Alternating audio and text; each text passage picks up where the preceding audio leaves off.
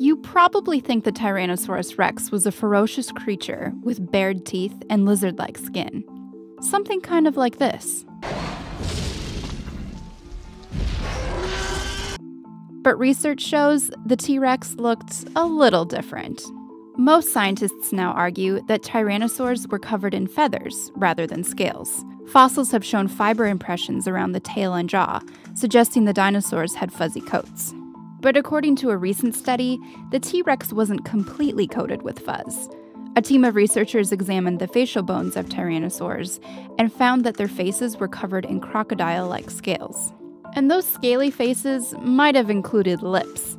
We often see dinosaurs depicted with big teeth sticking out of their mouths, but some scientists suggest that the teeth were covered by lips, like modern day lizards. So the T Rex might not have been as menacing as you thought but you probably still don't want to cross one.